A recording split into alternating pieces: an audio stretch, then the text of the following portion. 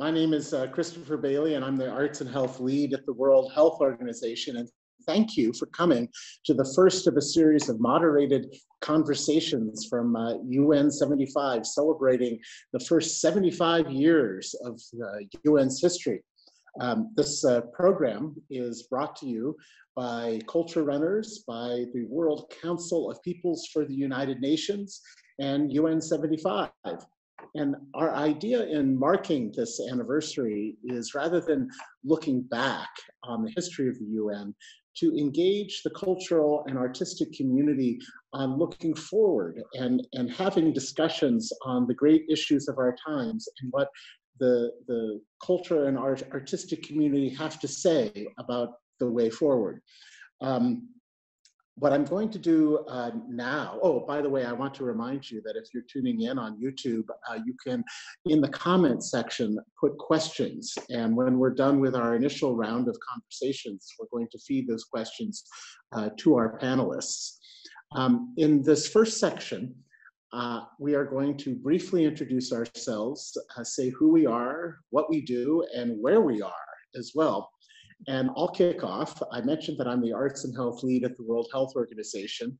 Uh, you might wonder what that is at the World Health Organization. Well, we do a lot of things, uh, everything from the Lady Gaga concert that you saw last weekend to a network of grassroots painters and artists that we've put together that we call the Solidarity Shows to fight COVID that I'm doing in collaboration with a group uh, called Create 2030. Uh, and uh, to the research agenda, we have a, a, report that came out last November from our Copenhagen office on the evidence base for the health benefits of the arts to working with groups on the ground using arts, using song, using jokes, using um, theater to build community, to, to reinforce health messaging, to make, to encourage a greater sense of well-being. So where am I? I'm in Geneva in my home.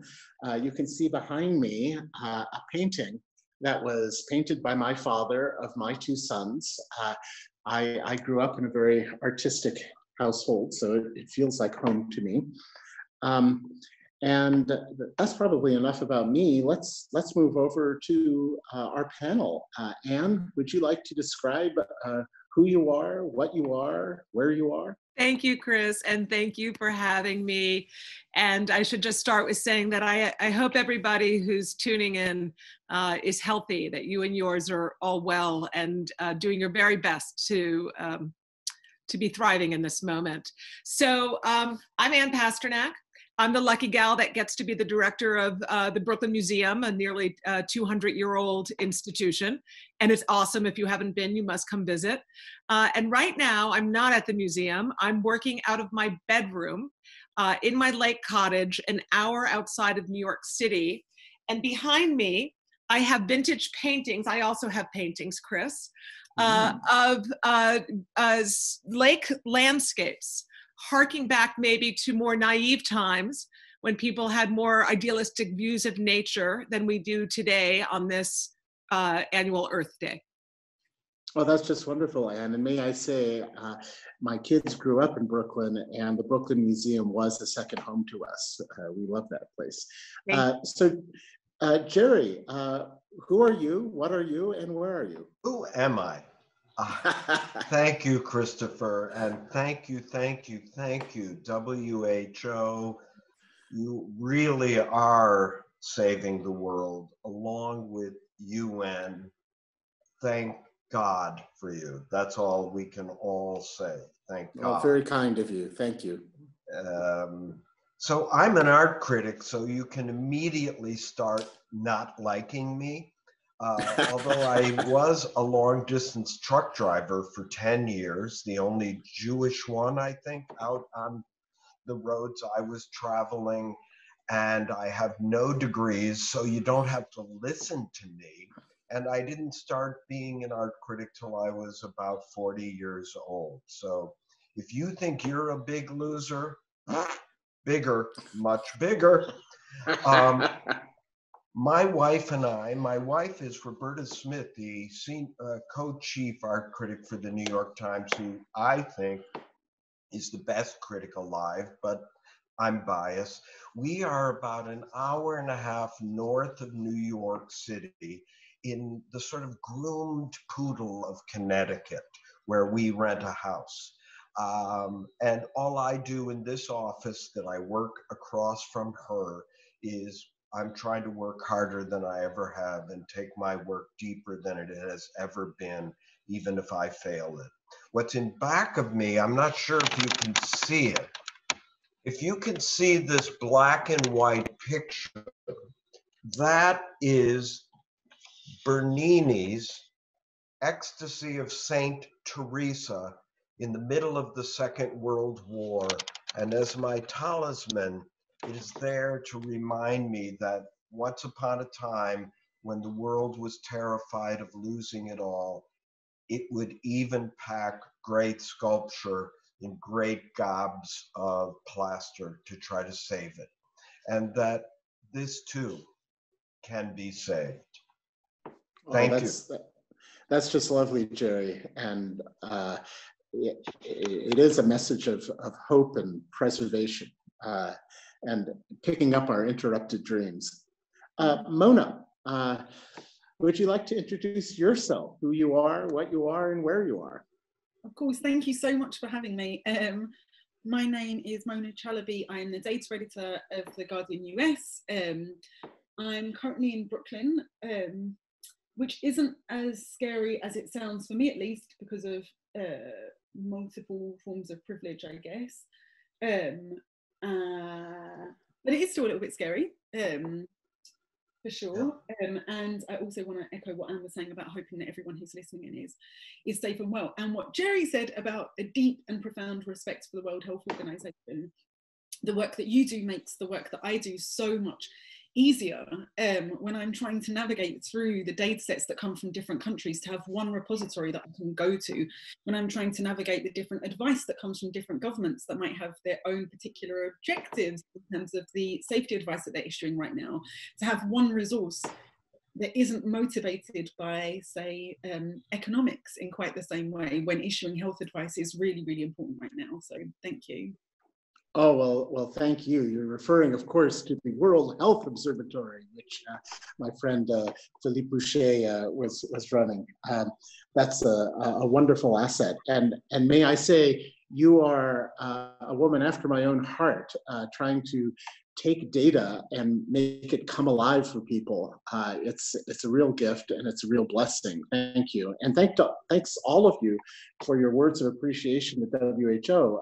we are doing our best in a difficult situation. We faced these things before, but I, I would like to remind people that uh, the World Health Organization is, is you. Um, it, member states make, make it up. Uh, our, our, you know, everyone in the world is, is are our bosses and our clients. The next few minutes, I'm going to try and uh, frame the discussion a little bit, and I promise you it'll be the most that you hear from me. Uh, I'll, I'll, let the uh, more intelligent and creative experts uh, uh follow, uh, take over.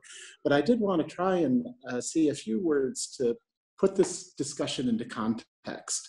And I was thinking about the 75th anniversary of the UN and that terrible cataclysm that made the UN necessary, mainly World War II. And I began to think, you know, if I had to describe to my sons what World War II was about, in some ways it was a struggle about the lie of division. We had an ethos that had emerged called fascism that decided that the superficial differences between people, your race, your religion, your nationality, your the language that you spoke, uh, your sexual preference, uh, whether you were disabled or not, um, somehow marked you for what level of rights you would receive in your society, or even that fundamental right to exist at all. And when that terrible conflict was over at a great price and the world was exhausted, there was a vision of a better future. And by mutual agreement, the peoples of the world came together and decided that we were one species living on one planet. And more importantly, we were the joint caretakers of that planet and of each other. And that became the UN. Now, along with that vision came terrible anxieties with the atomic age, and, and artists had a huge role to play, uh, subtly and directly. Everything from the, the writings of Arthur Miller to the paintings of Jackson Pollock to Hollywood film noir, it, it expressing the anxiety of the time. And, and artists have always, in these moments of history, formed a purpose of trying to make sense of those anxieties and help navigate uh, us as a community to, to move forward in a positive way. Um, and we're facing right now with COVID 19 another marker in that history, an overturning. This pandemic is the first pandemic that we have faced as a people in a century. And although it probably doesn't have the same kind of existential um, urgency as uh, World War II or uh, other um, existential threats in the past, arguably, it is a harbinger of other existential threats to come with the environment. Because we know these new diseases come from the animal world.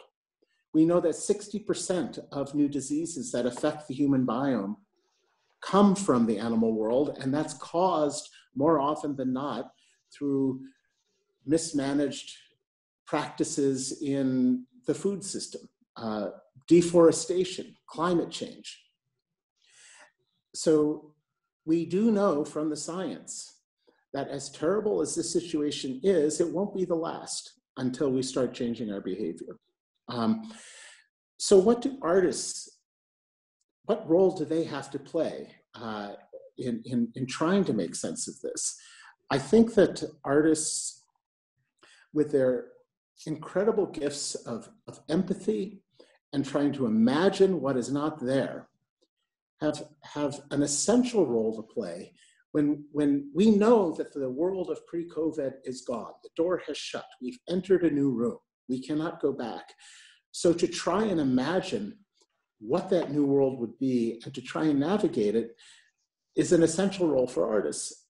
I also think that it's particularly heartbreaking because many artists out there are in that group that are most severely affected by the economic consequences of, of this disease.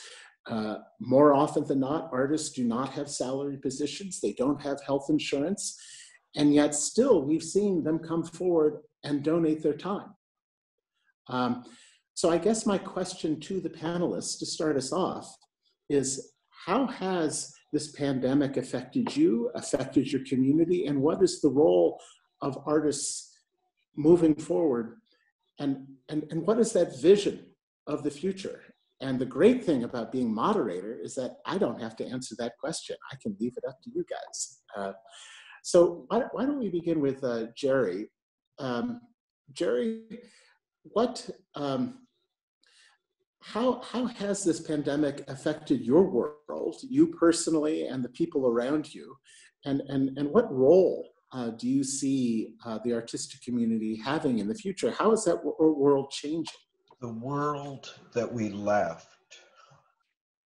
30 days ago, 90 days ago, in many ways, that world is gone.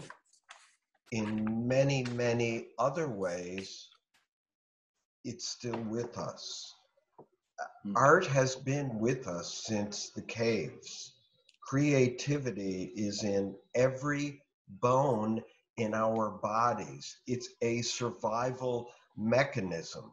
What's astonishing about this is art thrives under the exact conditions that most of the billions of people of Earth are now living under, which is under pressure, in smaller spaces, in more intimate settings.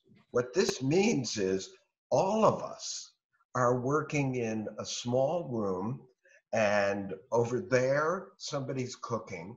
Over here, the kids are running around going nuts.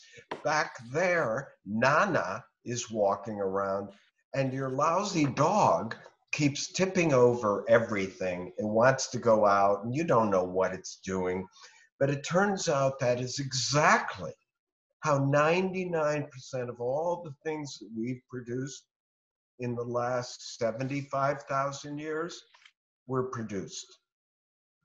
And that all of the bloat, good and bad, it was a beautiful art world. I helped build it with 10 million other people. We all had little teeny roles to play. Art is no more or no less important than psychology, religion, uh, philosophy. It's not the decorative hedge in front of the citadel of knowledge, Chris. It's mm. it's part of the whole ball of wax, and art is not going to go away until all of the problems it was invented to solve and address have been solved and addressed.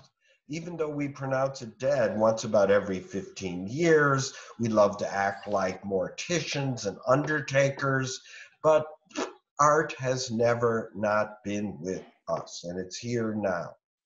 The king is dead, long live the king, eh? Right. Yeah. So um, I, I guess you know, oftentimes when we think of art, we think of objects. We think of a painting, a statue, a pot, uh, uh, you know, um, and and with social distancing, with uh, sheltering at home, we're, we're separated uh, from those objects. We're separated from the touch of the people we love. Um, is is that going to change our conception of art? I, I, in my mind, I have this image of you know Ray Bradbury's Fahrenheit 451, where they burned the books and everyone had to memorize them. You know, uh, uh, you know that's science fiction. Um, but do do we see the shift to the digital as as something that this process is accelerating? It's a beautiful question. It's just beautiful because the operating system of art probably the best we've ever evolved to explore consciousness, the invisible, the only way to portray hell. You cannot take a picture of that, for example, or heaven. Um, as I say, has been with us since the beginning. And now we have this other tool where right here is the entire known history of the universe in my pocket. How can that not help be a tool? It's not a problem that people say, get off your screen. More people are writing today in this one day than have ever written or read before in the history of the world. We don't have to be obsessed with the 1% of the 1% of the 1% of all artists who make a lot of money the unfortunate thing about the art world that we just left is people only saw it through the money. But the objects that are made, that are love. art is not a noun, it's a verb. Art is something that does something to you. The Venus of Willendorf, that little tiny sculpture found from about 40,000 years ago, so it's new. Um, I surmise was made by women. The stone is softer.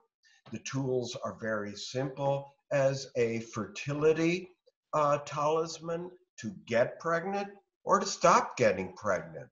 We know that art is for casting spells, for protecting armies. The sign of the cross was dreamt one night and then they put them on all the crosses in a big battle uh, over in modern Turkey. Um, art offers prayer. It isn't just something that sits there on the wall that people with lots of money get to buy. It's it's a lot of things, and it will continue being so many things. I promise you, the content of now is in your work even if you paint stripes or watercolors or paint an old man's bald face. I'm sorry, I'm gaining weight in this. My refrigerator knows my first name. Rookie mistake. Well, can I tell you, Jerry, that as someone who is visually impaired, you look beautiful. You're making my day.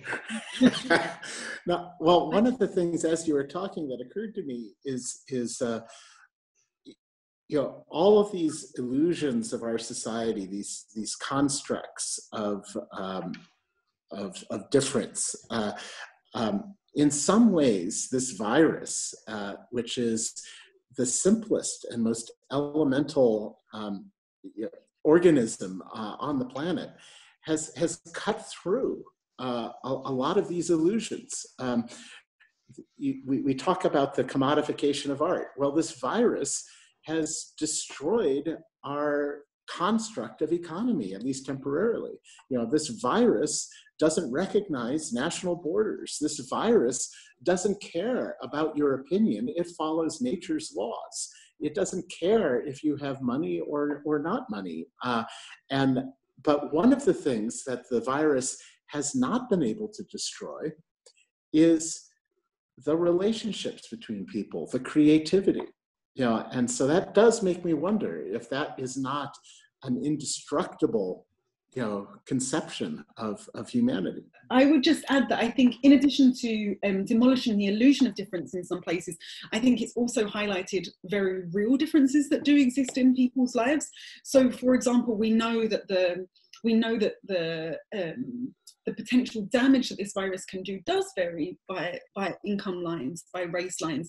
It's extraordinary to look at the side by side maps um, in just New York, where I am, even it just in Brooklyn, neighborhood by neighborhood, looking at wealth and looking at the number of people that have died from this virus. Um, and I, I think that's really, really profound. And actually, to add to um, everything that you were saying with respect to the art world, I think there are really, really exciting opportunities. I think it's strange because they're opportunities that I think none of us wanted to have this way. But I think there are opportunities to create an art world that is hopefully more accessible. I think the only thing that I would caution against that is if the future looks more digital, I don't necessarily think that means that accessibility is done and dusted. I think that um, physical spaces really, really matter. And I would also say that something that we forget so easily in this country is that not everyone even has access to the internet. Like even given what is happening right now, yep. again, there are kids who aren't able to go to school, but also can't afford a laptop at home. So they're still not able to get an education in the way that their, their more privileged peers are able to. And I think that's really, really important to keep in mind that even the people who are watching this right now might not necessarily be indicative of everyone who might have an interest in the art world. I would like to underline one thing you touched on, and that's the um, the inequities uh, of the population and making certain parts of the population more vulnerable to this disease. Uh, in a way, um, that also emphasizes the illusion of difference because um, if we decide that as wealthy, privileged people, that uh, uh, the the people who cannot afford health care, um, uh, you know, do not deserve our help, you know, the fact is that virus doesn't care about that difference. And if that poor person uh, who can't afford health insurance gets sick, that rich person becomes in greater danger. You know, that the chain of human health is only as strong as its weakest link. So it, it wipes out, you know, a, a hierarchical conception of economy you know, we are truly all in this together. And I, I think the health system, pushing health as a human right, is is essential to move forward. I talked a little bit about uh, health system strengthening, which uh, is is a bit of an obsession for those of us at WHO. So forgive me. You know, it's like, you know, asking the gravedigger in Hamlet what Hamlet's about. He's going to say it's about this gravedigger, right? um, in in terms of um, the way forward uh, for the art world and its connection to the environment, um, we do know that our actions impact the environment, which impacts our health. It is, it is a delicate system. Um, what about the role that artists play in terms of environmental sustainability? Is, is there um, uh, an area of exploration there? Um, and, and, and what are the responsibilities of the artistic community in terms of uh, environmental sustainability? What's happening now is that the beautiful art world that was flawed and had gotten very insular, even though it was completely open, it also was for a clique of certain people. One thing that we know going forward is that an infrastructure of comfort needs to be maintained, an infrastructure of compassion, an infrastructure of connectivity, of communality, of cross sectionality. The beautiful art world that was built was built more about, mm, let's not lie, individualism single voices working in single places at single times. So mainly white men would be the ones with the voice. Um, this virus has exposed that. Not that we did not know it and we're not taking steps to change it, but you better believe everyone listening to this, and then I'll shut up is being tasked with an extraordinary thing, which is in 24 months, 48 months, whenever each of us starts venturing out into this new normal world, there are hundreds of thousands of new uniforms to be filled and roles to play. And you are the leaders. I once built an art world when I was your age. And it was okay for a while until it wasn't. But you are going to build a new world. I promise you. And you're going to be in charge. So, you know, just keep working, you big babies, with every spare minute and every spare dollar you've got. Get to the other side of this if you can. I'm trying. My wife and I are trying, and compromise situations medically. But if we do, we will take upon ourselves what we're all being tasked with and to take it ourselves, take it together this time. Well, that, that's just uh, wonderful, Jerry. You use the word uh, compassion, uh, which um, uh, is one of my favorite words. And mm. I think people sometimes misunderstand the word because they confuse it with empathy. Empathy is feeling what somebody else is feeling compassion comes from the Latin root meaning struggle together. And it's, mm. it's finding common cause with someone else. Their suffering is your suffering, like the South African concept of Ubuntu. Communities all over the world, um, you know, struggle with this epidemic. Uh, they are grieving for loved ones. They're anxious about their future. Um, uh, they um, are trying to make sense of contradictory information, misinformation. Um, what, what do museums and, and public art um, uh, have a, what role do they play in, in trying to bring the community together? Thanks, Chris. And I think that's a great question. You know, um, people I think sometimes take for uh, granted or don't even realize the important role cultural institutions play as places for gathering. So even though we have social distancing now, and some of us may have social hesitation to even go into, uh, you know, uh, cultural institutions or you know arenas, whatever it, shops, bars, restaurants, whatever it may be, um, a museum space or a cultural institution is a place where we can gather, where we can learn about history, where we're exposed to um, artists who are reflecting on our past, telling us about our shared humanity and our shared uh, civilizations.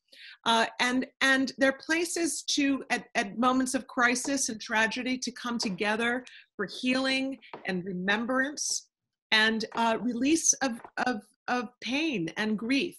And you know there are not that many public spaces where you can stand next to a stranger and have a conversation about history and how civilization has rallied. Um, where else are you going to do that? So i think that cultural institutions and museums in particular play an incredibly important role. I feel quite optimistic even with social distancing even with social hesitation that people are going to want to come back to their museums. They're going to want to find solace in history. And they're going to want to see how artists today are responding to this moment, how they're helping us see, how they're reflecting our own experiences, our own truths, and how they're going to help us imagine a more just and generous and decent future. So I think the role of art and art institutions is extremely important moving forward. And I have to say that I've been very blessed in my life to have experienced this over and over again, whether it was working on the memorial after 9 11 in lower Manhattan called the Tribute in Light, or uh, working in New Orleans after Hurricane Katrina with uh, Waiting for Godot uh, in New, Orleans or at the museum working on shows related to issues of uh, racial equity like Soul of a Nation or We Wanted a Revelation, uh, Revolution. And you know there's so you know Legacy of Lynching. There's so many shows that we do uh, on a monthly basis that really reflect the truths, the pains, and the hopes and aspirations of our audiences. And it feels good. It feels good to be truth tellers and to uh, to to see people. After the election, uh, when it was a difficult day for many people, and I went to the Brooklyn Museum, and to arrive there and to be told on the spot that it was free today for anyone was like a really beautiful moment and speaking just showing how everything that Anne is saying is backed up by actions as well as words, I guess. Thank you, Mona. I just want to remind the listeners out there who are tuning in live that they can uh, put down their questions in the comments. We already have a few. Um, I'm going to read out one question, but I'm not going to ask uh, you guys to answer it yet. We'll wait a few minutes because I, want you to think about it because it's an important question to me. It's from Helena in Long Island. How can we support artists after the pandemic? Uh, hold that thought. I just wanted to put that out there. Um, now, Anne, you talked about uh, the our artistic uh, response after 9-11 We were referring to those two beams of light uh, that went up into the night sky. Um, uh, i just want to say uh, as a new yorker who was an eyewitness of that moment um, when i saw that um, that piece uh, it, it filled me with a wordless sense of grace and uh, I, it, it, was truly indescribable. And no offense to uh, Jerry and art critics who make their word trying to describe art. Uh, when you hit that moment where words fail, um, then you found something. And uh, I congratulate you and your colleagues on that crystallization of what we were all feeling and could not express. Um, and, and I think it was Carl Jung that once said, loneliness is not the absence absence of people. Loneliness is the inability to express what matters to you most. Mm. And that's the role of the artist. And that is what we're discovering in this time of home isolation uh, during the pandemic, uh, I, think. So, um, can you talk a little bit more, Anne, about specifically uh, what the Brooklyn Museum itself did? Now, I know you had an, uh, an exhibit uh, um, uh, that was medically related. Was that a coincidence? Uh, uh, recently um, and and and and and what can the museum do if your doors are closed and nobody can actually come into the physical space uh, as the current situation is what what role do you have to play in this situation well chris thank you you know i i, I work with a team of people who care deeply about art as well as service and so service is what we're thinking about a lot right now. So as soon as we closed, we tried to join relief efforts, which, you know, uh, you know, we're proud that we gave thousands of gloves over to the hospital workers, that we fired up our kitchen with our um, catering uh, partners and great performances, and we were providing 8,000 meals to hospital workers and seniors and senior citizen homes. And you know, we have a task force of staff that volunteer to uh, help people who may need help getting to the pharmacy or groceries, whatever it may be. But I think it's really in looking at the longer term solutions uh, that I think will serve uh, people the most. You know, we've been spending a lot of time uh, talking to people teachers, public school administrators, families, people who work with people with disabilities who are extremely isolated, and really listening to the issues that they're facing and imagining how we may go even further than we already do in serving them in our uh, new COVID reality. And you know, we are already cutting back on exhibitions uh, so that we can make room for new kinds of programs, new kinds of services, new kinds of projects uh, that will really respond to this moment. As much as we loved those other exhibitions, and I still want to see them happen. Um, you know, this isn't the first time in our nearly 200 year uh, history that the museum has been through crisis.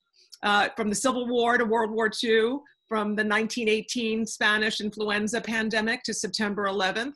We've been through crisis before, and I know that we'll get through this and that our community will need us to come out even stronger. And so our team is really committed to that. Question, Anne. Can uh, museums go broke? It scares me because I commune with the ancestors in your museum and others. Um, can a museum start to go broke in this pause? Absolutely. And I and I fear about the closures of cultural institutions, small, medium, and large. And um, it's been great to see foundations come out and support small and medium-sized organizations, but I think they do forget about the large ones uh, that may also be at risk, those without great big endowments like ours. Um, uh, so that um, I think that this is a very critical moment for people to be aware of um, the potential um, severity of this crisis. And I, I, have a question from Fabienne in the Isle of Man, which has to be the coolest geographical name in the entire world. Um, how can we reimagine museums and cultural institutions for them to become more inclusive spaces for a more diverse audience?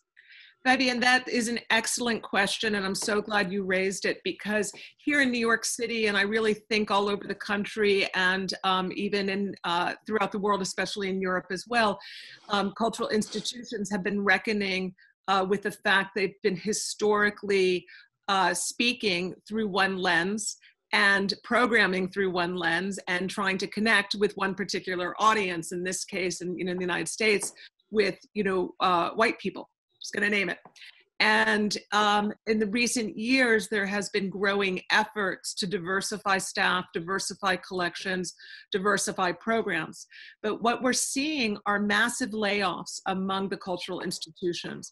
And the first people to go are the people who are probably most likely on the fringes of uh, economic security already Black and Brown people, young people, and so the efforts to, um, to enhance diversity, equity, inclusion, and access within our institutions are going to be seriously challenged. And it calls on leaders like myself to be extremely careful in all the choices we're making about how we're going to reduce programming and who are we going to end up serving, who are we privileging, and who are we keeping on the team. Uh, so this is this is an important moment for leaders to step up and think through a lens of equity. That's very uh, uh, thoughtful, and uh, it's it's true in almost any field, isn't it? Um, yeah. That uh, no matter where you go, oftentimes it, it is the vulnerable that are the first to leave. You know, groups that have been considered at least vulnerable in a given society. Um, here's a question from Nicholas. For years, we have talked about the digital experience of art with projects like Google Cultural Institute and how do we experience art online. How relevant do you think this is now and moving forward? You know, Nicholas, I remember you know maybe it was 10 or 20 years ago when you get older time just sort of mushes together and uh, it's a little bit like the pandemic that way right and yeah, I think Einstein said something about that. exactly. So I remember everybody thought putting art online uh, was going to destroy audiences for institutions and galleries. And if anything, just the opposite was the reality.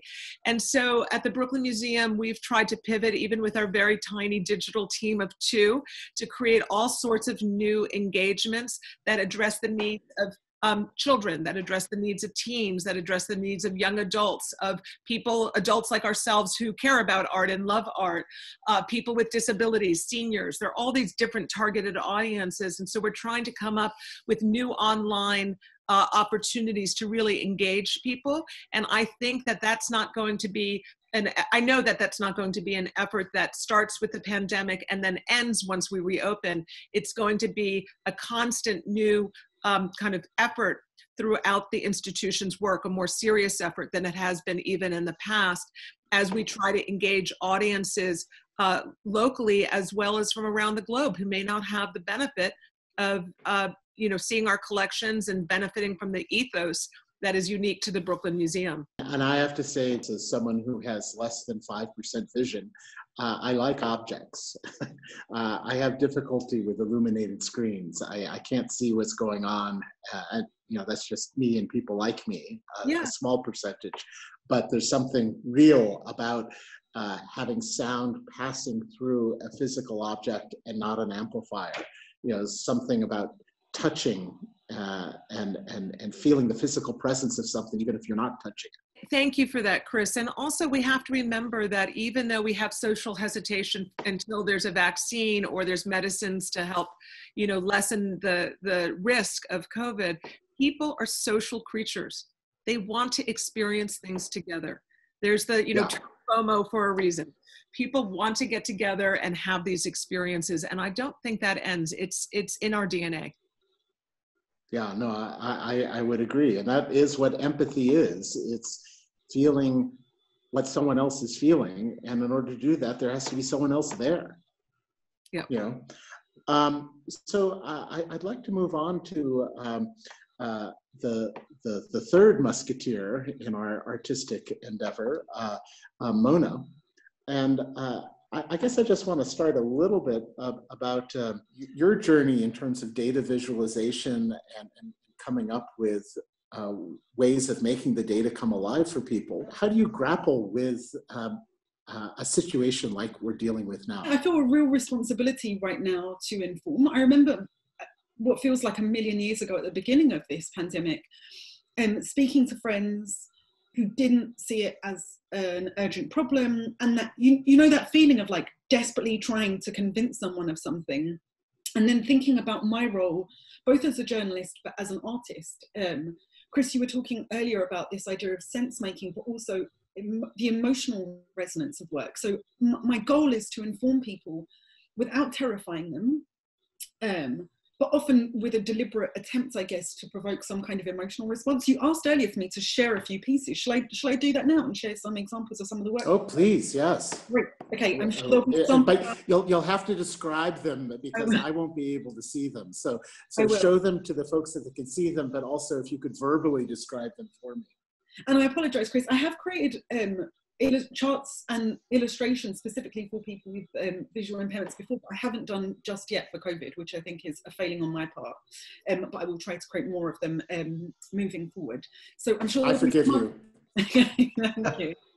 This first one um, was about a study that was talking about incubation rates of COVID. So what it what it was looking at was how long it takes for um, people who have been infected to show symptoms and so um, I use color to try to show um, the percentage of people who show who show symptoms on any given day. So in the first few days, basically zero percent of people are showing symptoms, and by the 14th day, pretty much everyone is. But you see a real shift happen around about day six, day seven, which is when around 50% of people start to show symptoms around about that point. And what was really fantastic about this particular illustration um, was that one of the researchers who authored the studies friends saw the post on instagram shared it with their friend who was the author of the study and the author wrote to me um, and obviously I was petrified that I had done a bad job of illustrating it, but they said that they were very grateful for these these small little footnotes that are so easy to miss. So um, this footnote at the ends that says we don't actually reach 100% at day 14 because not everyone will show symptoms. This one was quite successful right at the beginning of the outbreak, which was showing the symptoms, and this was based on data from the World Health Organization um, that looked at 56,000 lab cases and the different symptoms that people showed. So you can see that the vast majority of symptoms are fever, um, a dry cough, fatigue, and then um, you go down the list with um, symptoms that are less and less frequent, including diarrhea, the illustration for which provoked some concern among people. I feel like what's difficult is that the illustrations almost need to be live and dynamic and change as our scientific understanding changes. So at the time that I, at the time that I created this, loss of um, smell and taste wasn't one of the known symptoms. That's emerged afterwards, and also we didn't have any sense whatsoever of the share of people that are asymptomatic. And I think if I were to remake this now, and I probably should, um, I would add both of those in. This one was one that I think I actually messed up on. Um, it was talking about something that I think everyone is thinking about a lot, which is how long the virus lives on different surfaces. And at the time, I had a choice between two different sources. I had a study that had just come out in um, NEJM that maybe you, maybe you're familiar with that hadn't been peer reviewed at the time, and it found that the virus can only live for a couple of days on different surfaces. And then I found this older study that looked at different kinds of coronavirus. So it looked at SARS and MERS and found much longer survival rates. And I think one of the problems with data visualization in general is it's not very good at showing uncertainty. So we, we present computer generated graphics, um, present the facts as if they are this perfectly neutral, objective, impenetrable truth. And I think one of the things I try to do by creating hand drawn illustrations is to explain to people that um, a human was responsible for collecting this data, a human with their own biases, even the best data that we have, um, and to keep that in mind when they're consuming the information. And also by using these shaky lines and by not showing numbers to decimal places and trying to admit some of the uncertainty that we have, but by admitting that uncertainty and hopefully by showing that humility, it also says this is the bounds of our knowledge. And yes, we're unsure whether it's here or here, but we know it's somewhere within this universe. And to say that it's way off here just isn't true. Um, so yeah i think that was one of my attempts to show uncertainty and i'm constantly thinking about different visual techniques i can i can use for that and sound techniques as well um, to make sure that people who are visually impaired can also um, have access to the information. Go ahead jerry. I'm curious I, to what jerry thinks. I love these. They should be everywhere. But is it hard to come across the most recent information? Does WHO uh, provide some of that or UN or uh, is this easily accessible or do you have to crisscross all mm. over for weeks to get this? When it comes to COVID, it is really, really difficult. Like, I have a bit of a background in research, so I understand a little bit how to sift through the different studies. I, I know um, things, for example, like the number of participants, there are certain clues that I'm looking for in terms of study reliability. But to know that I can go to the World Health Organization and there are people with 50 million times better expertise than me who have said this is a solid study really, really helps me in terms of doing my work. But the other thing that you raised, which I think is really important and is actually really exciting about um, art in general and also data journalism is the opportunity to take people on a journey with you so rather than just saying to this study is reliable, take my word for it, trust me, this is good information. What I try to do very often in my stories, and I see artists doing this all the time in terms of sharing their techniques, is saying, these are the Google search terms that I used. This was the first study that I found. I discredited it for these reasons. Instead, I went to this study. I looked at figure one, figure two, figure three. Figure three is the really interesting one that shows the racial dynamics in this. Here's what the original chart looks like. Here's what the data behind the chart looks like. Here's what it looks like when it's adjusted for population. So it's like maths allows you to, to do that, to break down every single step of the process in the exact same way that art does. And what's exciting about that is I think there's a real opportunity now to change people's relationship, not just to um, information sources that come from different places, but even their relationship to mathematics, right? Like I speak to people all the time who are just like, oh no, it's not for me, I'm too stupid, I don't get the numbers. And actually now people are talking to me about log scales, they're talking about methodologies because their I think their patience with staying with the screen has changed because they realize they absolutely have to understand this and there's an opportunity in that to, to change people's emotional relationship with maths and say, it doesn't have to be scary. If I can understand this, then I promise you, you can as well. I think what you're saying is absolutely brilliant and spot on. Uh, and, and also what you were saying earlier about um, ambiguity and trying to capture that because it is true uh, that people love easy answers. They want you know black and white solutions, yes or no. And unfortunately, um, public health doesn't work that way. It works in percentages and probabilities, you know, not yes or no's. Uh, so, for instance, when seatbelts were introduced in the late 60s, um, traffic deaths reduced dramatically by upwards of 60%. You know, thousands and thousands of people lived that would have died, but it wasn't 100%. You know, mm. was it a failure? You know, uh, a vaccine comes out and uh, you know has one percent adverse reaction. Is that a failure? You know, uh, and so it, it's hard for people to put these things into perspective and being able to, as you say, illustrate the math in a human way, um, I, I, th- I, think is very helpful because we fall into these mental traps. And I think there's a very important example of that now, which is that November isn't very, very far away. And I think there has always been such a focus on polling and like, tell us what is going to happen in 30 days from now that's not how electoral politics work. It's actually also not good for democracy to predict who everyone's going to vote for before people have had an opportunity to go out and cast their vote. We have to think about how the communication of numbers can actually shape people's behavior. And I think this pandemic has really, really shown that. If you say to people, this is who's going to win, how does that affect people's voting behavior?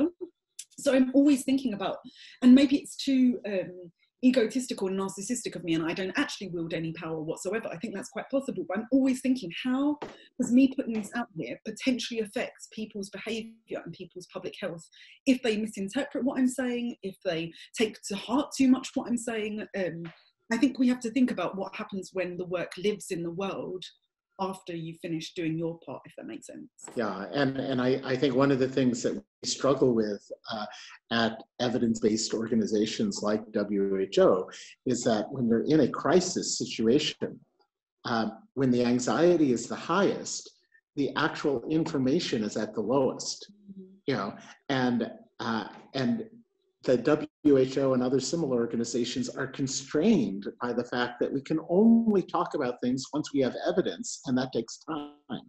Uh, so a lot of the critical answers that people need just simply aren't available yet. You know, we, we can we can talk about what we know. We can use examples of similar things in the past, and but you know, uh, th- those ambiguities are, are very hard to explain, especially when the stakes are so high and the anxieties are so high.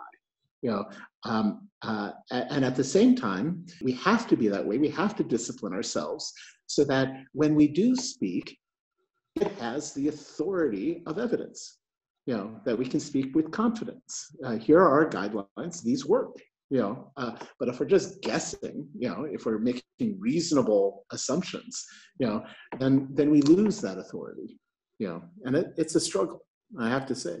Question came in uh, for you mona um, uh, and it, it's it's similar to uh, what anne was talking about earlier uh, but uh, perhaps you can talk about it from your perspective. How can more minority artists who are struggling financially be part of the institutional art world during and in the aftermath of the pandemic? It's a really, really difficult question. Um, mm-hmm. I didn't promise you easy questions. um, I think it, maybe there's a parallel with what I was saying about our emotional relationship with math. So I would say growing up, my emotional relationship with the art world was that it was a place where I didn't belong. I felt alienated from it. And I think for quite, um, it wasn't just a paranoia for quite legitimate reasons. I would say that um, speaking from experience, I think it's helpful with minority artists, um, I kind of hate the expression minority artists because uh, globally, I guess we're not the minority. Um, but uh, all artists are a minority. um, that's true. um, if uh, they try to set aside that emotional relationship with some of those institutions and almost like act as if they belong there when when they show up, which I think can be quite powerful. I don't know whether my own path is is a helpful one to describe. I felt incredibly frustrated in a job that I was in. I felt very, very um, uh, different, I guess, and like I didn't fit in. And one of the ways that I was able to build up my confidence was from just posting on Instagram. And I don't know how how replicable that is as a model because Instagram has changed so much since then. I mentioned on our on our uh, I mentioned on a previous call that actually Jerry Saltz was very integral to my growth on Instagram. I think I had 150 followers at the time. I had no idea how he even found one of my illustrations, a very provocative one on male circumcision rates. Um, and he shared it, and it was really, really helpful to me to help to grow that um, platform. Yeah, I'm really, really sorry. The only thing I would like to say, I don't know how helpful this is, is to refuse as much as possible to work for free because I think that's such a dangerous trap that so many of us have been pulled down I created an illustration a while ago, which is actually putting the onus on people who ask people to work for free. So it's the, the quiz is, should you ask an artist to work for free? And the questions you need to ask yourself are whether you're working for a non-profit, if you're working in the for-profit world, don't even think about it. And even if you work in a non-profit, are you are you creating work that directly privileges people with even less power than the artist that you're asking to work for free? So figuring out all of that stuff and i think the more of us that say no to to honest, honestly disrespectful requests from for-profits to work for free the more that we can kind of collectively mobilize to denormalize free artist work. I'm sorry this is very Mona, it's Anne. I, can I jump in for a second? Please, Uh, please. Because, because Mona, I think that, thank you. I always, when uh, corporations come to me and think that artists should do something for free because it'll give them more visibility, I'm like, I hang up the phone. So, so, but I- I do want to say to artists that this is not a good time to send people like me and Jerry emails saying, come look at my work. Have you looked at my work? I didn't hear from you. It was three days ago. Have you looked at my work yet? I will never speak to you again. Like it's just the wrong time. Yeah. Create some meaning in the world. You want attention? Use your skills to help out in this moment. Share what you're doing on your social media platforms. And if it's really awesome, chances are some of us are going to become aware of it and we'll reach out to you if it applies to the work that we're doing. This is not a time period for selfishness. This is a time period for all of us for selflessness. So get busy, get involved. I'm seeing a bunch of artists, you know, making prints, selling them like, you know, cause uh, to benefit our local hospitals in Brooklyn, which have been hit very, very hard. Makes me love the guy even more than I already do. So, you know, do things that are going to be meaningful for your community and use your skills for good. And if you have a skill that's going to be useful for your local institution, let them know about it. in addition to social media, if you have access to Windows, that's like a really incredible physical space where you're able to share some of your work in your community and is another possible way to get your work out there. I just love what you're all saying. And I guess what I think too is the art world we just left was making the first time massive steps on the part of uh, the museums, the artists, obviously, many writers. The commercial galleries were lagging behind, but the market was not. That we were undoing the canon that for the first time we were uh, uh, getting numbers like 51% of the population is women and so it made perfect sense that a, about that percent should be represented in museums artists of color from everywhere were starting to get in into all of these institutions that had spent the last 50,000 years, you know, just showing me. And when we come back, that work will be continued, but the canon, much of which is tremendous, just tremendous forms, the canon is being rewritten. You are going to re, really, really rewrite the canon and you won't take no for an answer. The problem, one last thing, is I don't want to undo myself. Here's a problem for old white geezers where I know as a white male, I'm, I should undo myself. I've quit teaching jobs to let other people have room, uh, given writing jobs to other people, but this is my work. I don't have another way to live, and I'm complaining about nothing. I love my life, but it's hard to think about, gee whiz, I too should step down, but uh, I should never have ended this point just here. But anyway, Very- yeah. Jerry, I'll help you out, and I'll say that um, that it is uh, very important for all of us to make room and welcome others in uh, with with grace and humility and with real opportunity. Um, and I think um, our institutions um, not only have a threat based on our financial realities right now, right? We also have a threat based on our relevance. If we don't blow open the canon, if we don't really include others in everything that we do, we're no longer relevant. So, Mm. time for institutions to get with the program at long last. And speaking of getting with the program, it is Earth Day, you guys. We should be talking about climate and what our field is or is not doing in terms of, uh, you know, our 10 year window at best of, of, of uh, saving humanity. We must never, ever let it become normal again to fly from New York to London for a night at an art fair or a museum or an auction or anything. I'm sorry. Maybe it was sexy and fun.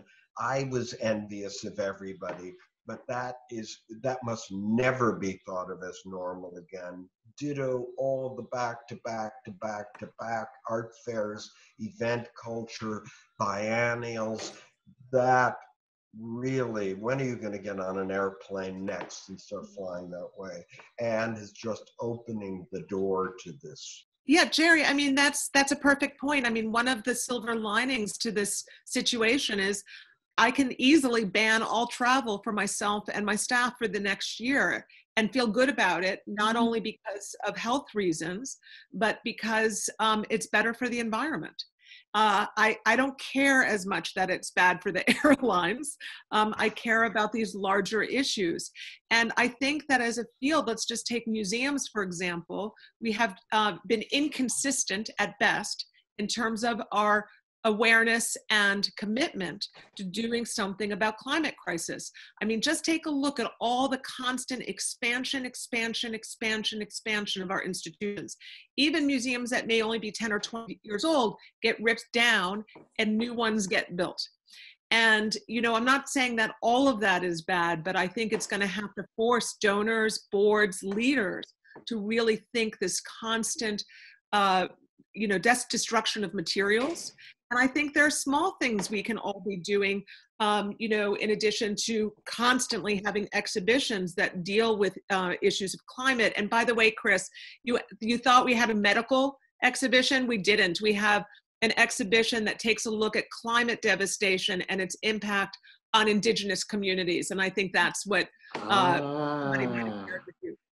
Uh, it's called Climate in. Crisis. Uh, but you it. know, I think we need to do consistent exhibitions, ex- consistent educational programs, consistent public programs, and we need to look at our own green footprint. And I confess that it was just this year that my team rallied with me and created a volunteer task force, our green team, to help reduce our plastics and you know our use of paper and you know all sorts of things. We're going to LEDs finally as an institution, but our whole field must do much more. So, Jerry, thank you for mentioning that. Well, and in fact, uh, I, I would say that one of the illusions that this virus has ripped away, uh, one of the positive benefits uh, amongst the negative ones, um, is this illusion that we can do whatever we want to with the environment without any consequence. And um, in during this travel ban, as painful as it's been, I'm here in Geneva, and you know the sky has cleared. You know, the, the, the air quality across the world is improving in just a matter of weeks. Uh, so it does make you wonder if, um, again, this isn't just a warning signal, but also a signal for the, the positive path ahead. You know, the what, what we could be doing to make our lives uh, more healthy, more sustainable, and more, I, I wouldn't even say in balance with with the environment. We are part of the environment. You know, let's not keep fouling our own nest. You know? Chris, a lot of people are, ta- and artists in particular that I know of, are talking about the the connection to climate crisis and COVID. And I think for a lot of audiences, that connection is not so clear. Would you feel comfortable talking a little bit more about that? Mm. Well, I, I, I, tried to cover it a little bit in uh, my uh, you know introduction at the beginning, but uh, I, I think that um, in general, um, you know, the, the climate change is affecting our health in many ways. I, I talked a little bit about uh, diseases like COVID that probably came from the animal kingdom. Um, Ebola was another one. Um, although we don't know which animal Ebola hopped from in West Africa, it's uh, possible it was an African bat. We do know that because of deforestation, those bats moved into West Africa in areas that they hadn't been before. So that is one theory. Um, but it, it's, it's other things as well. It's um, the range of mosquito-borne illnesses is slowly moving northward because of climate change. And historically, throughout all of human history, the one animal that's been most deadly to man is the mosquito. You know, and and that that range, whether you're talking about Zika or, or yellow fever or malaria, that range is increasing. You know, so uh, th these are these are all elements. Um, the availability of water, uh, the the sustainability of our agricultural practices. These are all related to climate change, um, and uh, are you know I I I I think that we have to stop thinking in terms of yes or no zero sum equations and look at the complex systems and and start realizing that we can take this negative cycle and turn it into a virtuous cycle through very simple behavior changes you know uh, and and now's the time. I, uh, we have literally a 10 year window before it becomes irreversible. Um, my sons um, talk about not having children because they wonder whether this planet is going to be habitable, you know, in future generations. And I'd like to be able to tell them with confidence, don't worry, love one another, have children, because we're taking the steps to learn from our mistakes and do the right thing but I can't say that sincerely yet because we're not. You know, and and and so that I think part of the artist's responsibility is to help amplify that message uh, in whatever way we can. You know, um, I, I, I, think it's time to maybe on that note, um, there's one question I'd like to ask all of you, and then I want to get into some of the specific questions that are coming in from uh, the YouTube uh, comment section. Um, but, but one question, uh, and, and perhaps this was one of them that we just said, but we do know that this talk is going to be written up. It's going to be presented to world leaders uh, as an input uh, from you know, we small unrepresentative members of the artistic community uh, for them to consider um, in, in their policy discussions moving forward. If you could choose one thing to say to the UN, to world leaders about the future, you know, from a policy point of view, what would that be? And uh, why don't we begin with Mona? Mine feels quite wonky. Um, but I think is potentially quite important is um, I think averages breed distrust, and I think most of the numbers that we're presented are presented as averages without breaking down who is affected by something, the disproportionate impact of all kinds of things, whether it's um, environmental degradation or this pandemic. And I think the more that policymakers can um, talk in non-aggregate terms and break down those averages, the more that they will foster the public's trust in the information that they're sharing. But that feels quite nerdy, but it's something I'm thinking about right now. I have no problem with wonky questions. I'm a, I'm an incurable wonk myself. Um, Jerry. I would say to everyone that culture is the soul of your country. The spirit of your culture is every generation that came before you, and that you are merely a caretaker, a shepherd of it, a conductor, a channeler of it, that is, as I said, no more or no less important than philosophy, religion, psychology. It's just part of the whole ball of wax. And we don't understand it, but we don't understand Mozart either. But we just know we might not want to live without it. Amen to that. Uh, Anne. So some people on my team are talking about, and I think people in the art world internationally are talking about a kind of new New Deal. Mm-hmm. And the New Deal post World War um, looked at the big picture issues in the United States um, about equity and access. It provided electricity throughout the country. It put artists at work in terms of glorifying buildings, et cetera.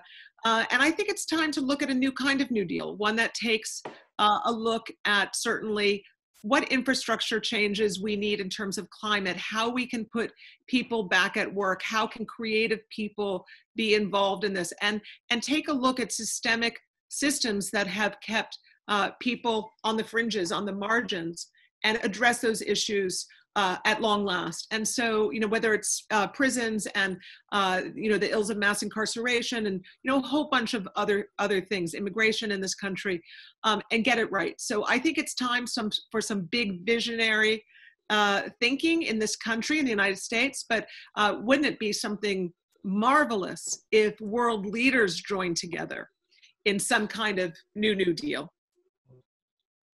I I am very inspired by that. And in fact, it's very much related to what I would say uh, to the policymakers. Uh, I would say health is often look looked at as an expense. It is not. It is an investment. You know, it's been proven over and over again when you invest in health for all, the benefits you receive are manifold in terms of economic prosperity uh, across the board. Uh, but I would also argue that arts funding is often considered an afterthought, a nice to have, you know, when there are other things. Uh, I would argue that WHO has proven that art as an investment is one of the soundest investments that a, a society can make in improving well-being uh, as defined in not just physical health but also mental health and social health. You know, and all of these things are part of WHO's definition of, of health, you know, and, uh, and, and so that would be my suggestion to policymakers is um, maybe a few fewer bombs out there and a few more schools, more uh, strengthening of health systems, uh, some testing kits to avoid this situation and avoid lockdowns in the future. Um, and and invest in the artists. I'm going to read a few questions from uh, our live audience, and I would like to encourage them to keep writing uh, in the comments questions. Um, some of these questions are addressed to individuals, but I think all of you can, of course, uh, chime in if you have something to say. Here's a question to Anne from Mohammed Wadden. What about initiatives by institutes like the Museum of the City of New York's call to collect the stories on the current situation. Is it too early to think of collection?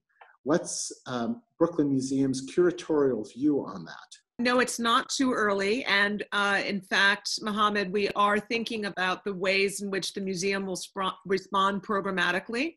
Uh, and already we have been working with our board and our curatorial team on focusing our collection uh, uh, purchases for the future around specific themes.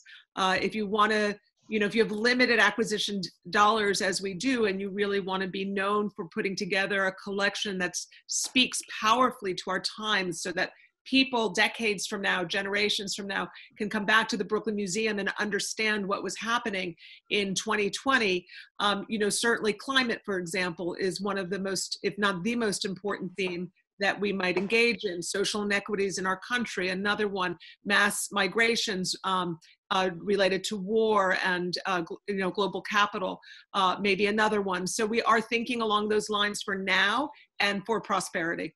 Here's a, uh, another question for you, Anne, but again, anyone else can uh, chime in. Um, this is a question from Jan uh, Hanvik. What do you think about the importance of Indigenous knowledge and voices from Indigenous communities? Uh, Jan, just to put some context, works with Indigenous groups in Mexico, adapting their ecology parks into artist residencies and arts environment uh, conference centers. Jan, thank you for the work that you do and thank you for that question. I think again, institutions have been, like ours, have been um, awful at dealing with embracing, inviting in, listening, uh, uh, partnering. Uh, we've started to make a change at the Brooklyn Museum over the past few years. Uh, for example, uh, you know, a number of Indigenous people were involved in shaping our climate and crisis exhibition. Uh, we have a wonderful exhibition. I can't wait for it to be reopened with Jeffrey Gibson and rethinking narratives around Native American people in particular.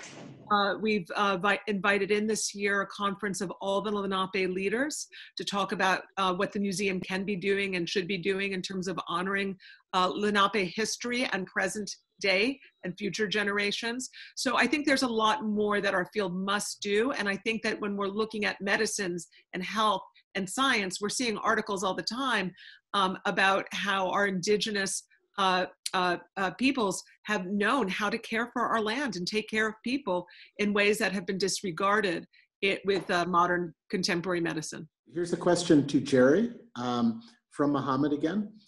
How have catastrophes shaped moments of transformation in art history? And what do you think might come out of this moment in terms of artistic production? That's a very key question. Christopher Bailey, who is with us, has talked a lot about, and I'd actually like him to take this question after I give a little bit of a answer about what catastrophe brings. The world does change and then some things don't. What is changing are the systems that all of this will be delivered by. You heard the head of a major world museum just now say off the cuff, we've been bad at this. That is a, a gigantic breakthrough. It means that war is one that most of the people at these museums already know it's a, a change has already come. Styles will change, space will change. We may stay the same. May, we may not put aside childish things, but we will recognize it when we see it. But I want Mohammed Christopher to unpack what the word that you use too, catastrophe means. Would you mind that, Christopher? You told me about it, yeah, maybe, and it was beautiful. Sure, may, maybe briefly. Uh, I, I have a performance piece that I do which describes my journey into blindness and how it changed things like uh, my, well, obviously my perception, but my my understanding of the world and um, and and my engagement with it. And uh, my background is the theater, and the ancient Greeks um, had a very specific definition of the word catastrophe, which was different than a disaster. A disaster is something that happens outside of your um, control, and uh, and when it happens, there's not much you can do about it. You know, too bad. You know, a catastrophe literally means an overturning. You know, and the, the difference is not so much the event itself, but the meaning that we put on it. You know, um, when a catastrophe happens, um, a person's state changes. You know, suddenly in the COVID catastrophe, um, world leaders are powerless, and we are entirely dependent upon grocery store clerks there's been an overturning of the social structure. You know, um, suddenly these things that we worried so much about um, uh, the, the, the air is clear, you know.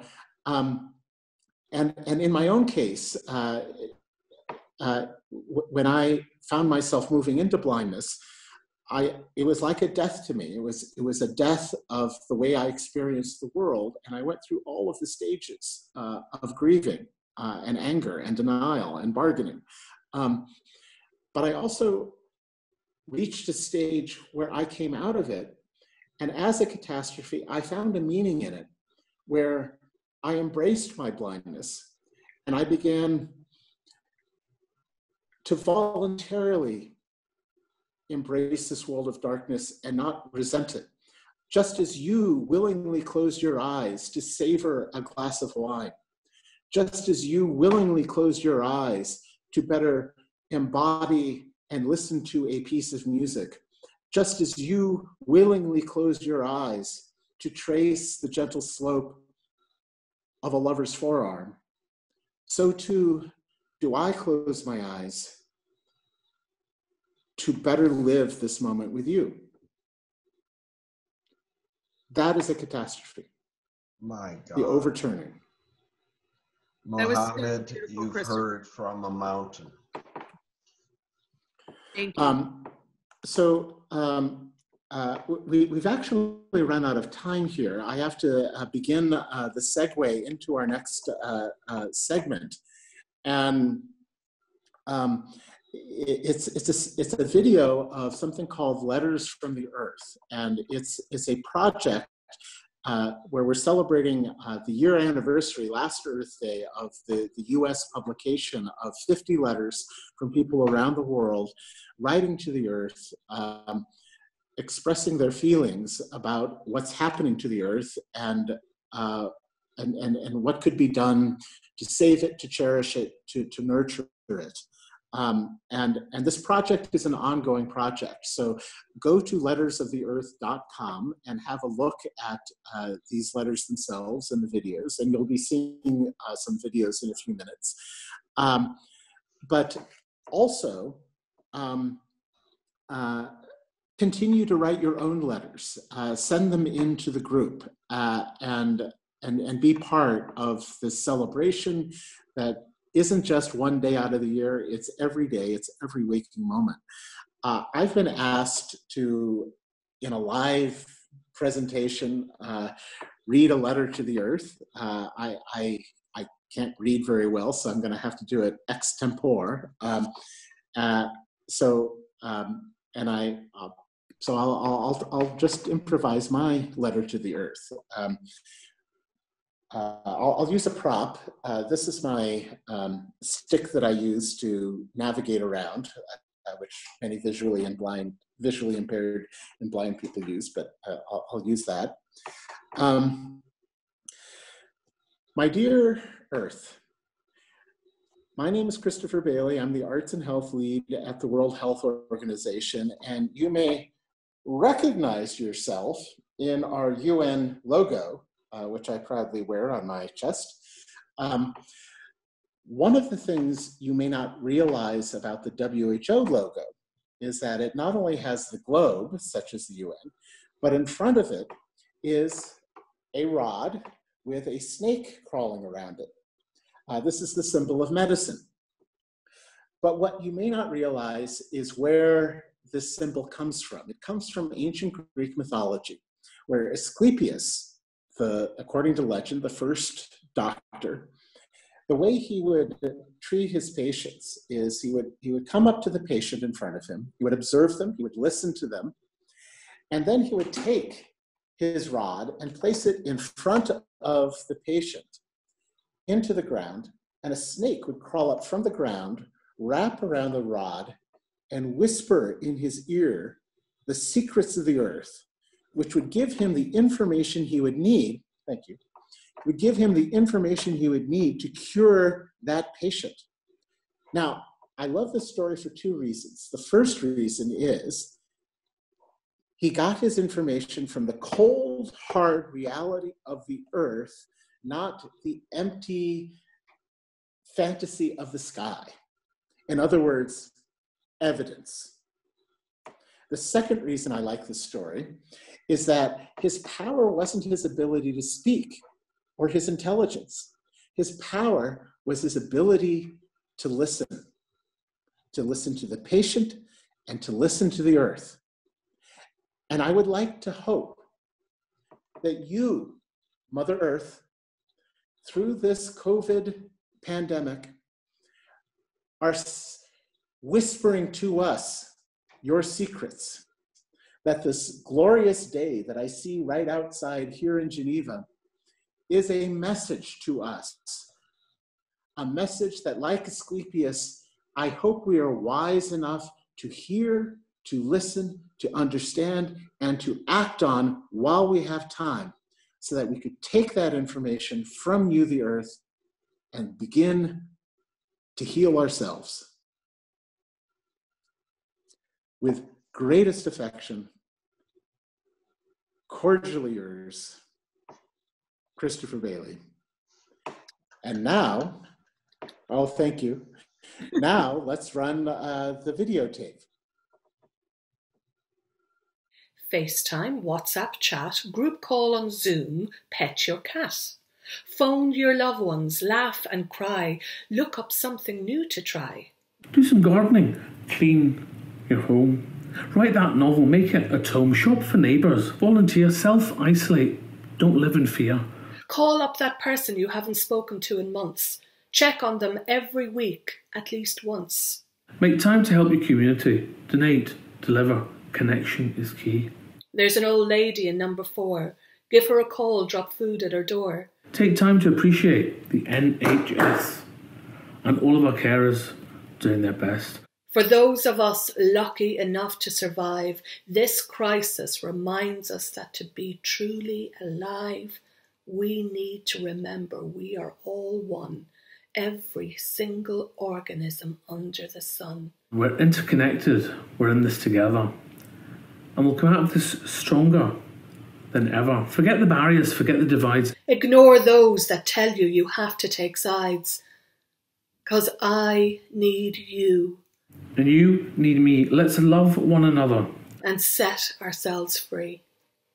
In the time of pandemic, and the people stayed home, and they read books, and listened, and rested, and exercised, and made art and played games and learned new ways of being. And were still. And they listened more deeply. Some meditated, some prayed, some danced, and some met their shadows. And the people began to think differently. And the people healed. And in the absence of people living in ignorant, dangerous, mindless, and heartless ways, the earth began to heal. And when the danger passed and the people joined together again, they grieved their losses and made new choices and dreamed new images and created new ways to live and heal the earth fully as they had been healed. Dear Earth, flowers have blossomed and the weather has changed, but why doesn't it feel like it? Lonely. This is the word to describe the fact of this unfortunate event that has occurred over the past few weeks. The whole world is asleep, and it is so quiet that the sun is bored of chasing the clouds. Usually, quiet means peaceful, peaceful. But in this time of fear and anxiety, it's quite the opposite. How does it feel like knowing that this toxic is slowly passing through the earth, infecting your people and damaging you, the earth, which was once an extraordinary environment? We now live in an unknown world uncertain of ever going back to school, uncertain of meeting my friends again, uncertain of going to my family holiday in summer, uncertain of everything happening in the world. Dear Earth, I am a geographer from Chile who fell in love with you many years ago, despite the first memory of my life being when you so passionately quaked and I severely freaked out when I was almost three. As you know, our relationship ever since has been intense, polyamorous, colorful, and profound. I humbly respect that you are the bigger person here and that I learn infinitely more from you than you do from me. You're also the most moonstruck artist, the most phenomenal scientist, and the most extravagant raw food chef I'll probably ever have the pleasure to gravitate to in this or any other life to come. And your blue caress just makes me breathe so green. My love, please don't listen to them. I don't want to live in Mars. I know that you love me, and of course, all of your other lovers, but I don't feel jealous. The more, the merrier. Oh, and one last thing about this tipping point. I feel it too. All of us are in this together. Mother Moon, Father Sun, Earth is you and me. Yours, Pau de Planet. Dear small islands everywhere, I think of you often. Many of you swim in oceans of water and have been happy to do so for aeons. Until now. Now the seas of time lap at your shores, and time is ebbing away as you float suspended without life buoys or influence over waves that augur drowning. The melting ice, the rising waters. Where is the lifeboat? How many will it hold? Will it be overwhelmed by this swell as you abandon the ship of your lives in search of safe harbor? Will the drawbridge of safety be drawn up as you float ideas of salvage or rescue? Will hands that are drowning, not waving, be hoisted from the flood?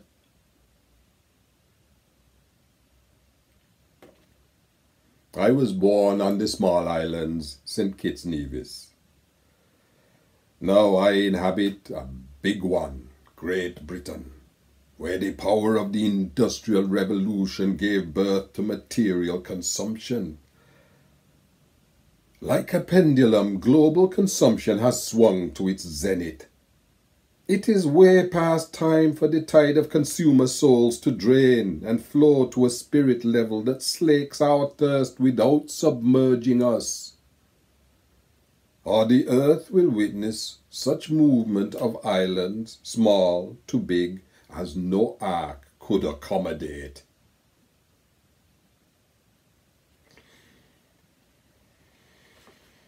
The waters of time are storming to keep small islands safe. Let the big ones learn to live smaller. Yours sincerely, Tyrone Huggins.